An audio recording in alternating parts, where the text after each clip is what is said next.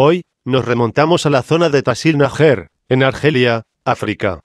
Donde antaño, desde el año 10.000 a.C. hasta el 2000 a.C., un vergel de floreciente vida de diversas especies se dio allí. Y como era de esperar, el ser humano estaba presente. Es importante mencionar que Nasir Tajer es el más ilustre parque nacional argelino, aparte de patrimonio histórico de la humanidad desde el año 1982. Nasir Tajer significa en castellano, planicie de los ríos. Por ello, entendemos que lo que ahora es un desierto, el Sáhara, antiguamente fue un cruce de ríos, riachuelos y lagos donde la vida se desarrollaba a su alrededor.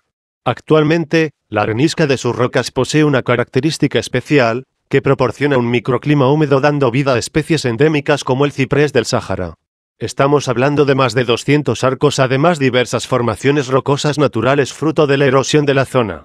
Lo más destacable de este patrimonio de la humanidad, es sin duda, su rica y diversa pintura rupestre. Este arte prehistórico quedó representado en las cuevas y rocas de la zona, dándonos un largo historial de sus costumbres, ocio y vestimentas. Son aproximadamente unas 14.000 pinturas que nos ofrecen una gran cantidad de datos sobre estas poblaciones, llamados los garamantes. Esta tribu habitó tanto Libia, como Túnez, Níger o la propia Argelia.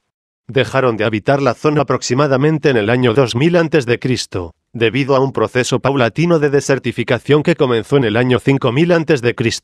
Los garamantes, sus ancestros y descendientes fueron los habitantes de las zonas costeras e interiores del centro norte de África. Ahora viene el misterio, desde el 10.000 a.C. hasta el año 6.000 a.C., los garamantes pintaron el periodo de las cabezas redondas, un arte muy documentado que acerca a los extraterrestres de nuevo hasta nosotros.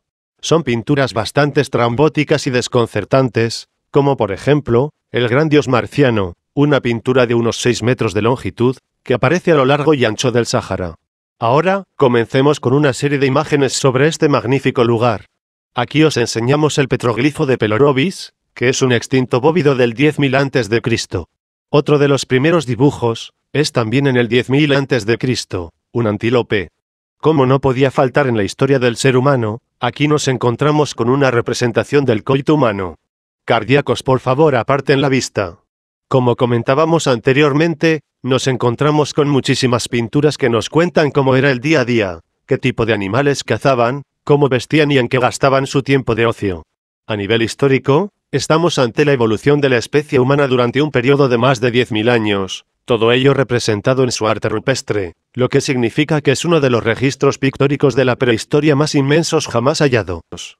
Los dibujos son muy ricos en contenido, descripción de escenas cotidianas, permitiendo hacernos una idea de cómo vivían, cómo vestían y a qué dedicaban su tiempo. Sobre todo cómo evolucionaron a lo largo de los siglos, qué animales pasaron al olvido mientras otros nuevos aparecían en su vida. Ahora, a todos los videoespectadores, os pido que reflexionéis acerca de las cabezas redondas, el gran dios marciano y el misterio que todo envuelve. Un saludo desde el otro lado de la red.